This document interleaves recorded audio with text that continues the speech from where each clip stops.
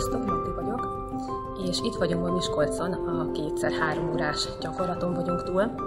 Én reggel úgy érkeztem, hogy nagyon beteg voltam, és nem voltam benne biztos, hogy egyáltalán végigbírom csinálni a gyakorlatokat. Arra készültem, hogy majd ülve fogom a többieket végignézni, de legalább itt leszek az erőtérben, és talán majd gyógyulni fogok.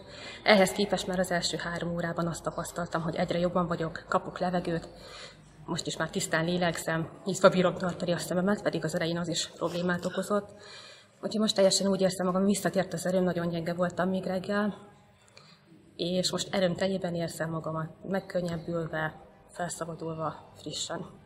Úgyhogy nagyon hálás vagyok ezért Lacinak, aki végigvezetett minket ezen a kétszer-három órán, és csak ajánlani tudom nektek szívül, hogy gyertek és próbáljátok ki, tapasztaljátok meg, hogy milyen ez, mert nem hiszem, hogy meg fogjátok bánni. Köszönöm szépen!